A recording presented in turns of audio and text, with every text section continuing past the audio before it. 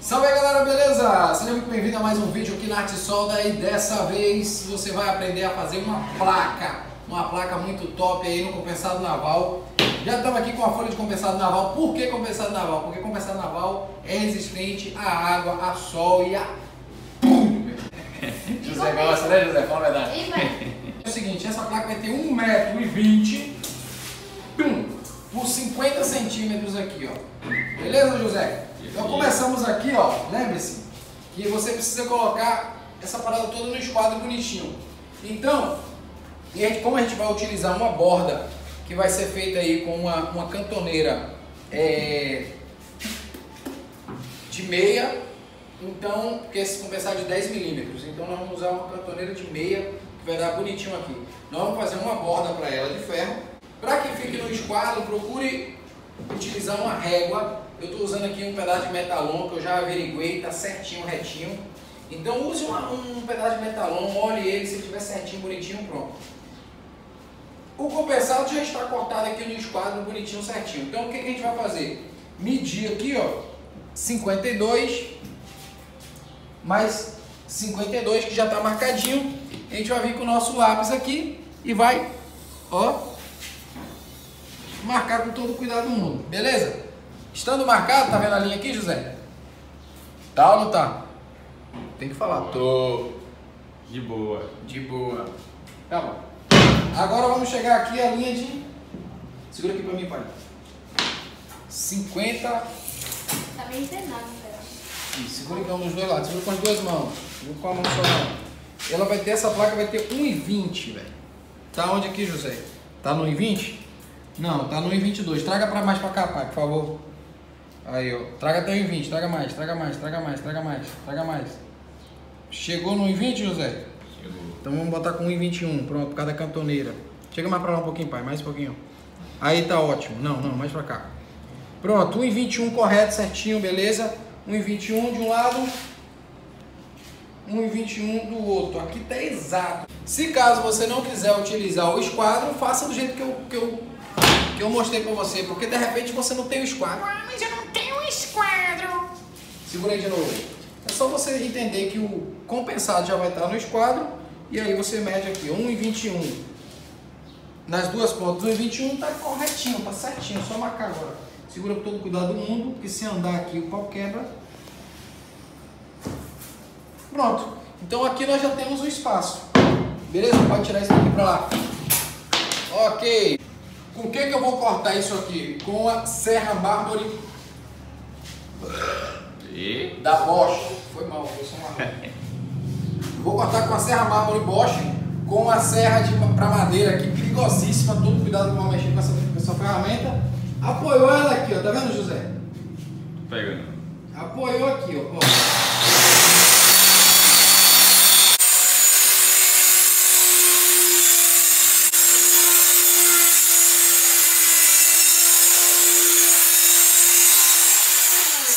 Tá vendo que aqui na Serra Mármore tem um cortinho aqui, ó. Tá vendo esse cortinho? Você vai deixar a peça com, todo cuidado do mundo. Eu tô mexendo aqui, mas nem tô segurando ali, ó. Você vai deixar a peça sentar bonitinho na madeira lá, ó. Tá vendo? E você vai guiar por aqui, velho. Guie por aqui que vai sair retinho. Vamos aqui. Vamos fazer o corte. Ó.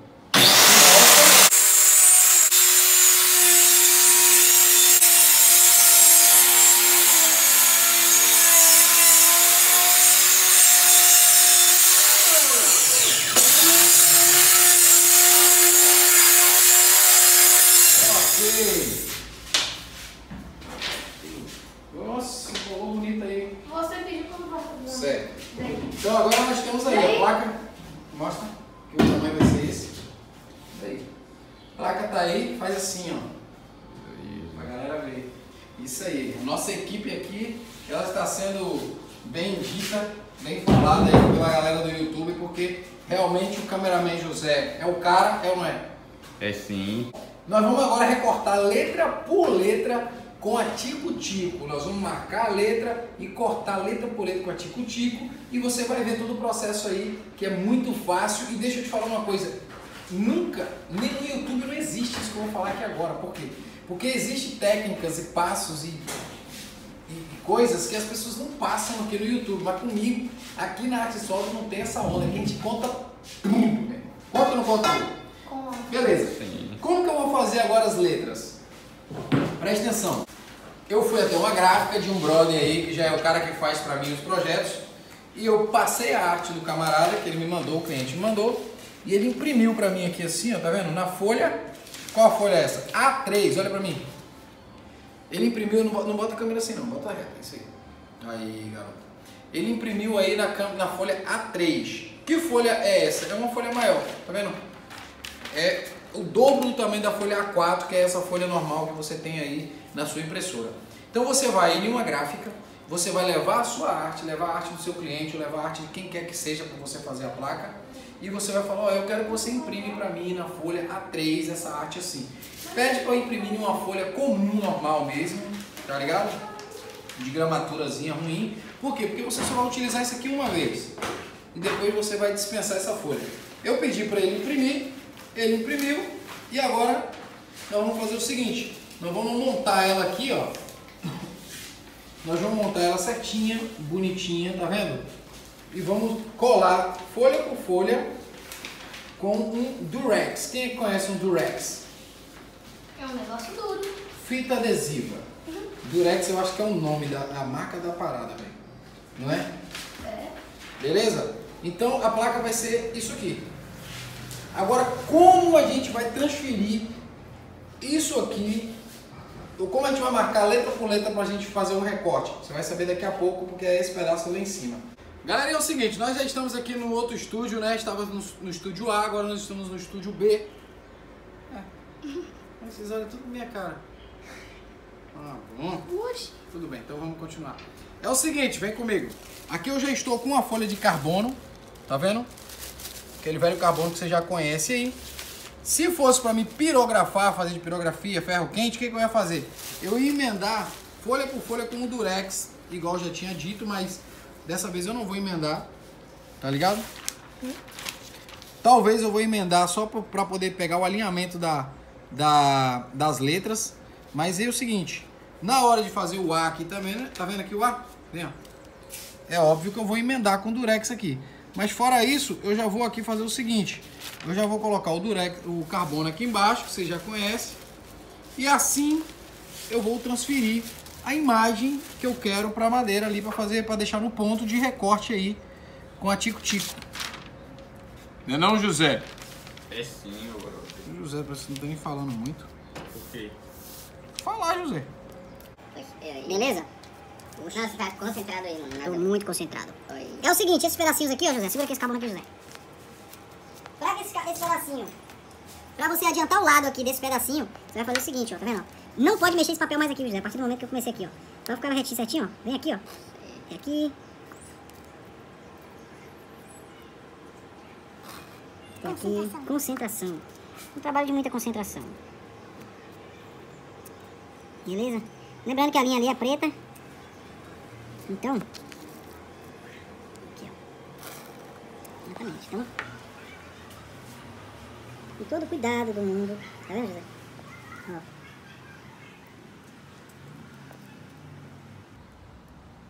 Fiz a volta do ar todinho aí, bonitinho. do carbono. Olha a magia do carbono, a magia. Dan, dan, dan, dan. Opa. Ficou faltando um pedacinho do alho em cima, mas esse aqui a gente completa. Tá vendo? Vai pirografar? Não. Vou recortar. Bom, a letra A eu vou fazer um furo aqui no meio dela para eu poder começar. Ó. É, a, a serra da Tico Tico vai entrar aqui e vai fazer essa volta. As outras letras estão de boa. O que acontece? Eu vou estar utilizando aqui uma serra para Tico Tico dessa aqui, da fininha, tá vendo? Tira o dedo aí. Vou tirar uma daqui de dentro. Vou tirar uma daqui de dentro. Beleza. Ô, dificuldade para tirar essa, essa serra Olha lá, dentro. Leo, velho, com dificuldade, ó. Mas dificuldade não tá certo, não é? Como, como que é a palavra então? Tem que falar de modo fino, velho. Dificuldade. Dificuldade. Bom, deixa eu mostrar na minha mão aqui. Então, eu vou estar utilizando uma, uma, uma serrinha para tico-tico aí mais fininha, tá vendo? Onde eu consigo fazer as curvas. Então, essa curvinha, quadradinho, eu consigo fazer com isso aqui. Essa serra aqui é da marca Não sei porque botaram adesivo aqui, não vou falar. Ninguém Não tá me pode patro... ninguém, pode- não, ninguém tá patrocinando. Pode não vou mostrar a marca. A hora que vier me patrocinar, eu, eu falo. Como vocês podem perceber, essa daqui é muito mais estre- estreitinha, tá vendo?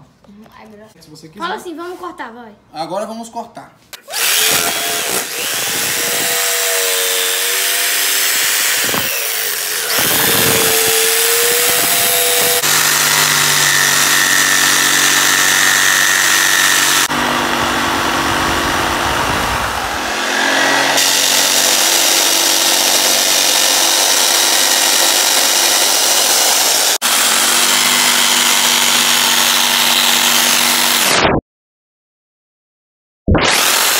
O cuidado é muito pouco, porque isso aqui tem que sair perfeito, viu, brothers?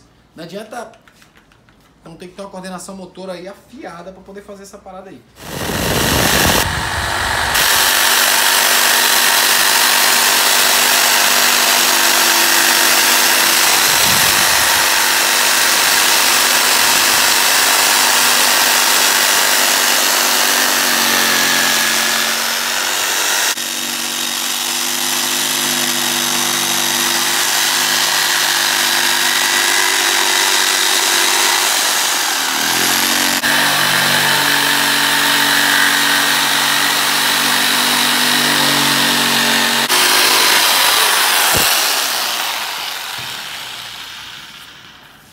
Deu pra você? Perfeita a letra A, tá vendo aí, ó?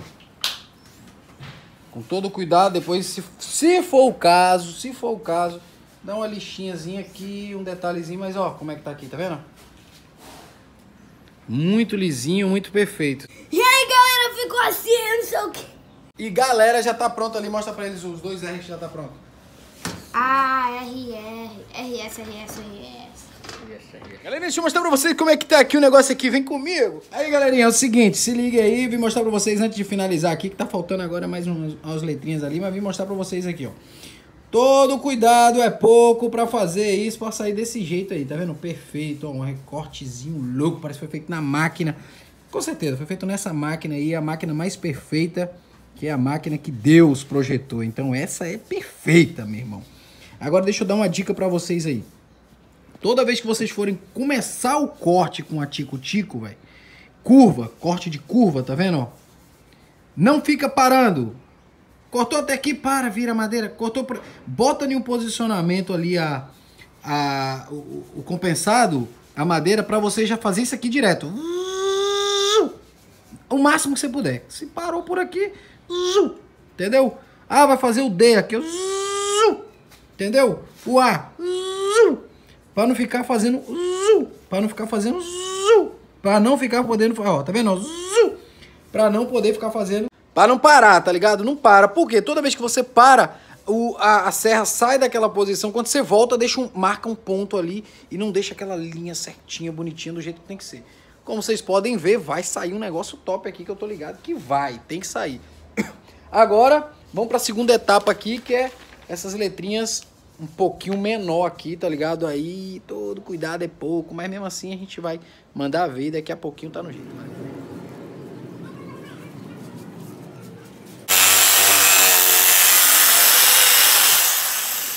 Então, brothers, é o seguinte, vamos para essa etapa aqui que é muito importante para que você possa centralizar as letras e também conseguir marcar o lugar do furo, porque essas letras elas vão ser parafusadas por trás aí, tá ligado? Então vou te mostrar pra vocês o que, que eu fiz aqui. ó. Bom, tá todo mundo aqui cortadinha, bonitinha, como vocês puder, pu- puderam ver. Eu cortando aí. É, eu marquei aqui na própria placa agora com o carbono, só com o carbono. Aqui ainda vai ter uma, uma, uma, uma peça aqui no meio.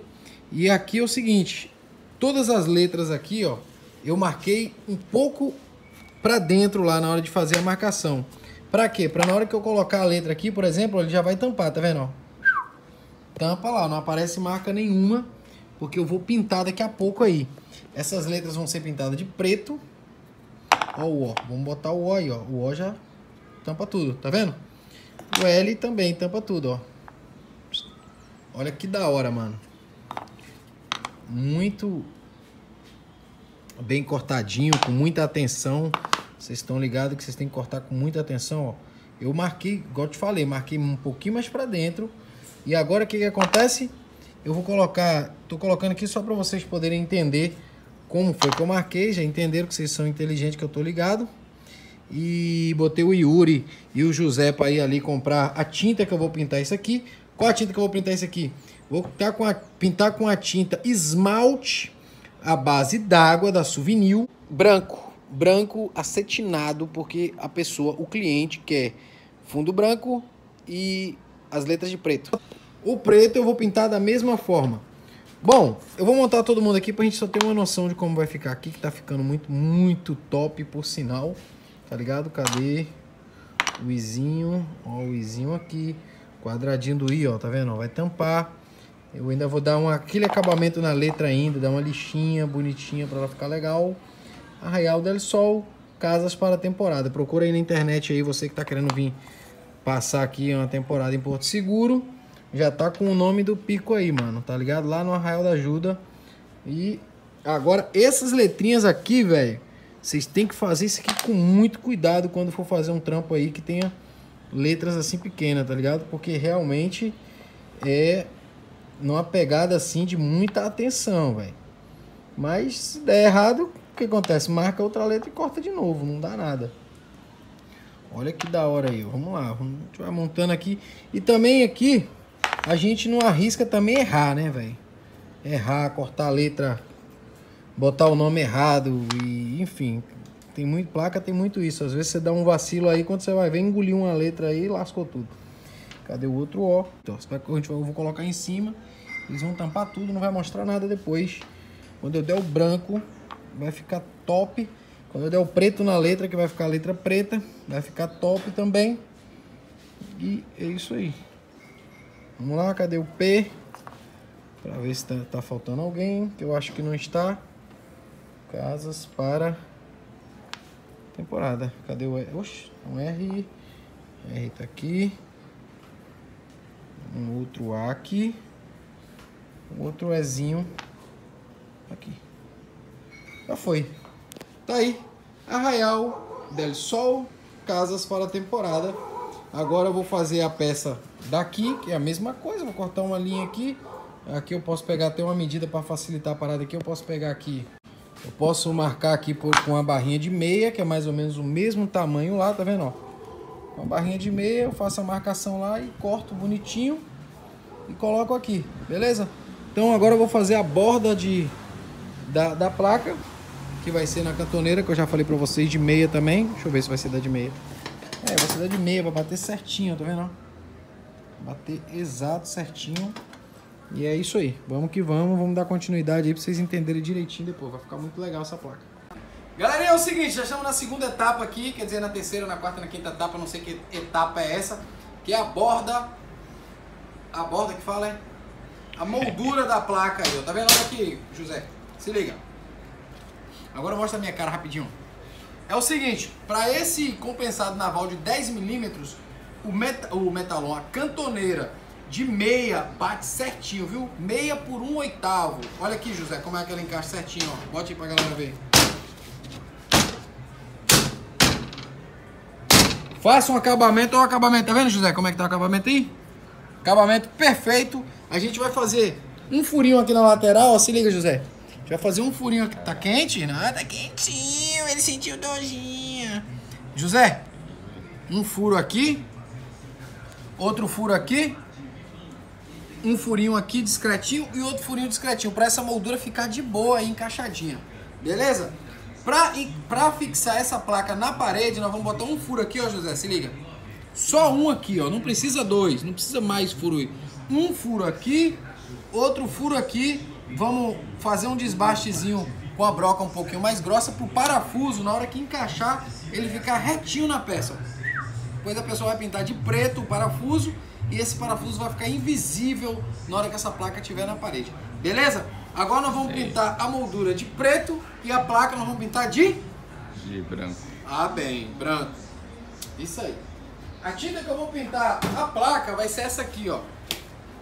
Seria uma da Souvenir. Seria, olha pra cá.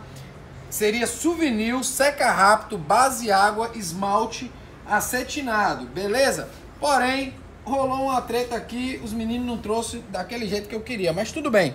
Lembrando que essa tinta, ela é para madeira e metal, prêmio.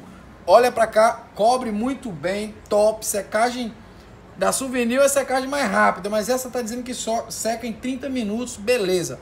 Então o que, que eu vou fazer agora? Segundo passo, antes de pintar, vou marcar todo mundo aqui, ó. Como é que eu vou marcar o lugar para me fixar? Ah, tá com soninho, abriu a bocona ali, ó. Tá com soninho. Se liga, viu, rapaz? Aqui na arte sol do bagulho, é? O bagulho é louco. Louco, beleza? Presta atenção aí, galerinha, pra vocês não perderem nada. Gente, olha pra cá. Eu vou fazer um furo, ó. Numa letra A dessa, por exemplo, vou dar um exemplo pra vocês.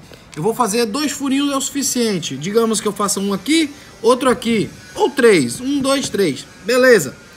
Eu vou estar tá utilizando aqui, ó, um parafusinho bem fininho. Foi o mais fino que o José conseguiu achar. E ele não vai, não vai ultrapassar aqui as duas peças, porque eu vou parafusar lá pelo fundo. Digamos que essa peça é a letra, então nós vamos marcar aqui, vai fazer o paraf vai parafusar aqui e vai encaixar aqui.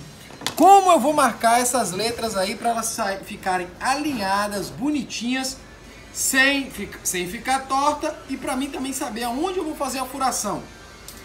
Nada mais, nada menos que nessa marcação que eu fiz aqui. Lembra? Eu fiz uma marcação um pouco menor, um pouquinho mais para dentro, ou seja, a letra é maior do que isso aqui, a letra normal ali. Eu vou fazer, ó, eu vou furar com a, pra, com a broca agora, bem fina também, com a furadeira. Fazer um furo aqui, um furo aqui, ele vai vazar. Então, ou seja, ele já vai ficar lá atrás marcado. Eu vou fazendo em todas. Nessas letras aqui que eu só fiz o risco, a marcação tá aqui, ó. Eu vou fazer um furo aqui, outro furo aqui. Na letra A, um furo aqui, outro furo aqui.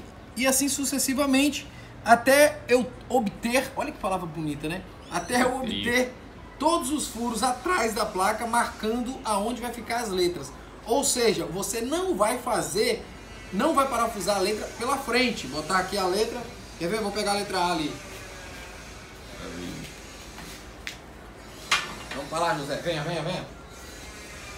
Você não vai vir aqui, botar a letra A aqui e meter um parafuso aqui que você não é doidão. Mas existe uns doidão que faz isso.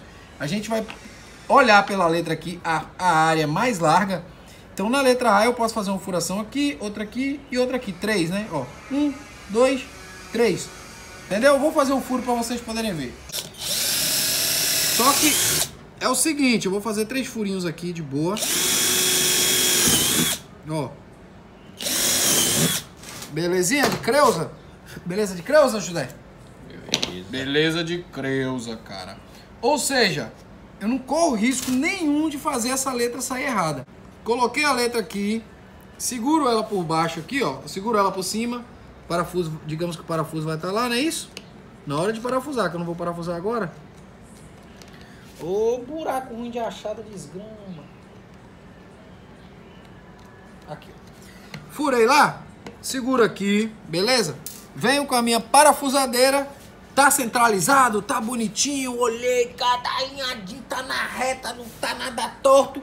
Você vem com a sua parafusadeira segura depois que a tinta, depois que a letra estiver toda pintadinha, pretinha, com fundo branco, tudo bonitinho. Você vem com a sua parafusadeira e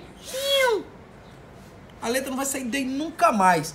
Aí digamos, nunca mais não, digamos que daqui um ano, um ano e meio, que é o tempo que essa placa passa bonitinha, ela dê qualquer problema lá, e, ou seja, o sol espancou ela, perdeu a cor, ou enfim, como a tinta é boa, a acrílica normalmente não descasca, ela só perde, fica feinha, ou sujou, ou enfim. Você vai desparafusar todas as letras, porque isso aqui é compensado naval, isso aqui é resistente.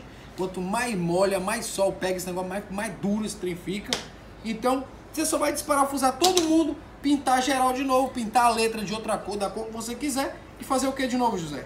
Parafusar de novo. Pronto, você tem uma placa nova de novo. Beleza? Então, a segunda etapa aqui da placa, que é a segunda não, terceira etapa eu acho, quarta ou quinta, não lembro mais. Mas enfim, já pintei de branco, mostra aqui mais de perto, José, que tá branquinho. Olha que maravilha aí, galerinha. Branquinho. Top, top. Deu uma camadinha legal. Não precisa, não precisa pintar isso aqui muito grosso para não correr o risco de descascar depois. Apesar que essa tinta aqui não descasca não. Beleza? Agora eu vou, já pintei as letras de preto, tá vendo? Ó? Que top. Mostra de perto aí, José. Mostrou? Agora nós vamos para a sequência de montagem aqui da letra, galerinha. Beleza? Alinhou aqui. Ai, tá bonitinho. Você vai pegar ali por baixo ali, bonitinho. Vai botar o parafuso e vai parafusar bonitinho. Depois que você tiver certeza que tá tudo assim, do jeito que tá aqui, alinhadinho. Tá vendo? Então vamos que vamos. Assim, ó. Começa a andar.